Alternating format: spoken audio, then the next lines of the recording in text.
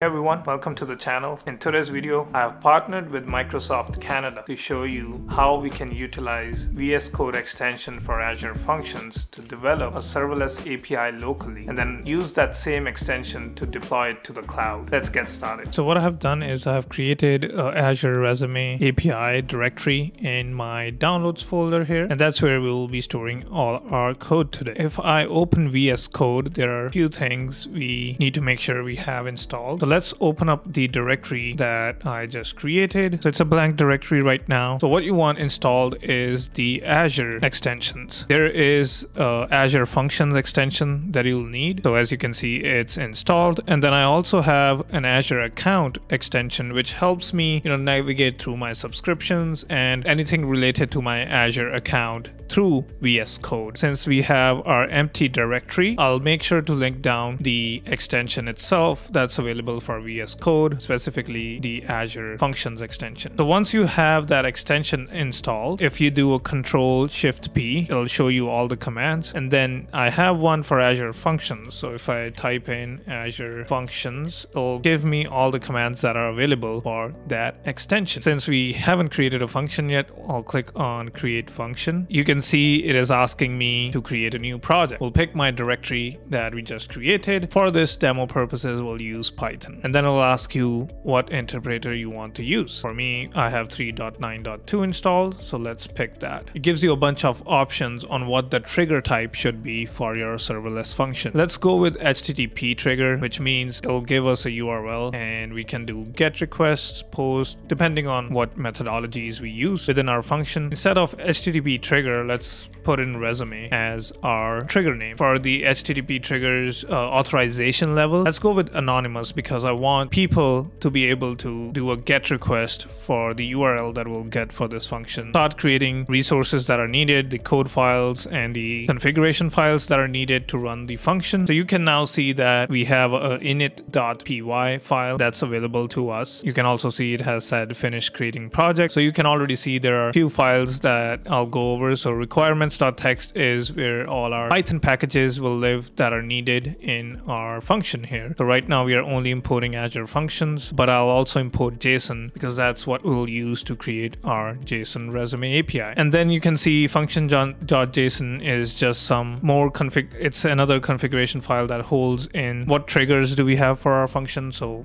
we went with HTTP trigger and then what is the auth level? As you can see, it's anonymous, right? In function.json, host.json is to how this function is being hosted. So what we have is just a boilerplate function. What it basically does, it gives you URL endpoint, which you can call and you can pass an argument with name and it will return hello, whatever you put in the argument as name would say hello. In my case, Rishab, this is HTTP triggered function executed successfully. What I want to do is instead of giving this response, I wanted to give back my JSON resume. And, and for that, what I'm using is called JSON resume schema. I'll link this down below, but basically gives you a structure for your JSON file as a resume. And you can see, you know, name, label, image, email, phone, URL. All of the things that you list on a resume are here in a JSON schema. So what I have done is I have gone ahead and created one for mine. We'll modify our init.py file now. So let's get rid of the functions that we have, right? We are importing logging and Azure functions. Let's do, let's do another import for JSON since we will be working with JSON data. I have, I'll create variable called data that will hold all of the JSON value. And as I said, I've already gone ahead and created my JSON formatted resume. And you can do that too with the schema that I just showed previously, right? These are some details for myself. So name, website, email, right? Username. And then I've shared my LinkedIn profile, uh, my work experience, my certifications, my skills. Just fill in the details um,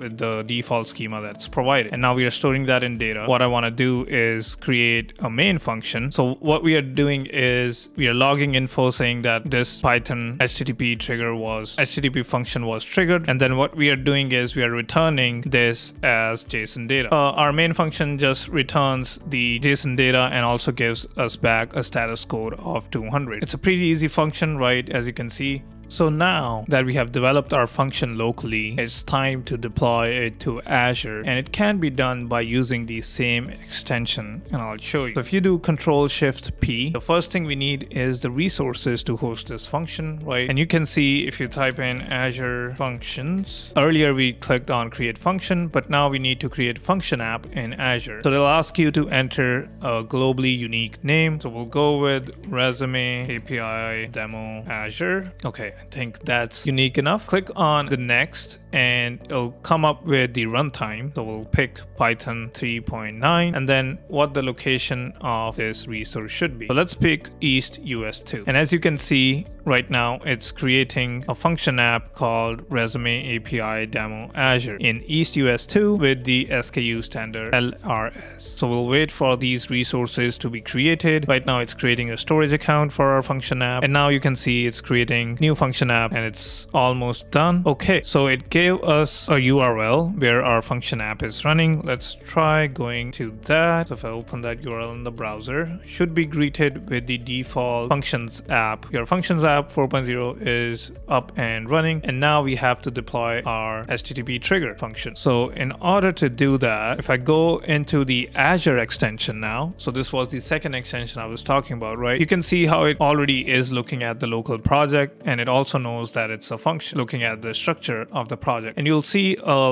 little icon on the right hand side which says deploy. So if I click on that, we'll be deploying it to the function app that we just created. So we picked that option and you can already see we have our resume API demo Azure here. So we'll click on those and it'll give you a warning saying, are you sure you want to deploy it to this app? This will overwrite any previous deployment and cannot be undone. So I'm good with that. We'll click on deploy. Now you can see it'll be doing a deployment of the local function that we just created all through the extensions that are available for Azure and Azure functions. I haven't logged into my portal as you have seen in this demo. So I really feel like, you know, these extensions are really powerful and gives you the ability to develop serverless functions locally. So you can see the deployment has been completed. It's time to test our trigger here. So if I go to my browser tab, open this up, you should see a JSON response with my details and you can see that. So if I zoom in, you can see it's a JSON, you know, document with all the details that I just entered. Our serverless function has been successfully deployed. So we already saw that in the browser, but what if I, which helps us do, you know, get requests. So I'll do a get request to this HTTP endpoint, which we just received from Azure. And you will see a JSON response includes all of the details that my resume has. And that was exactly what we were building, a serverless resume API, developing a serverless function locally to deploying it to Azure all through VS Code. There are a lot of great resources available from Microsoft to learn more and get started with building serverless APIs. Go check out aka.ms forward slash rk2 to get on-demand training from Microsoft on Azure Functions and the VS Code extensions that I use today for Azure Functions and Azure. I hope you really like this demo. I'll see you in the next one. Peace.